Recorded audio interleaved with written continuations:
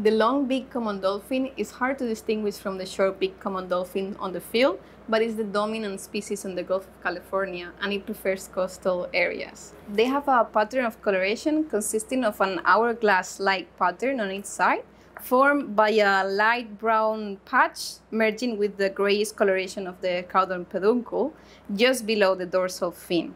The top part is dark gray and the ventral part is white. The long-beaked common dolphin has a more slender body, a more elongated rostrum, and a more flattened melon. Their length ranges from 1.7 to 2.5 meters, and their weight is way less than the bottlenose dolphin. They can reach about 100 kilograms. Long and short beaked common dolphins were considered uh, the same species until 1994 when they were split in two. But recent research has questioned this. However, the eastern North Pacific long-beaked common dolphin may constitute a unique species. They typically porpoise out of the water when traveling at high speeds, and burst speeds up to 40 kilometers per hour have been recorded.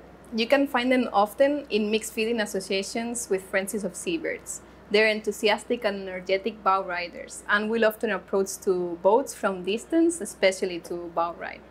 They can be seen in pods ranging from a few individuals to thousands of them. Large herds are believed to be composed of smaller social units of 20 to 30 individuals that are not necessarily genetically related.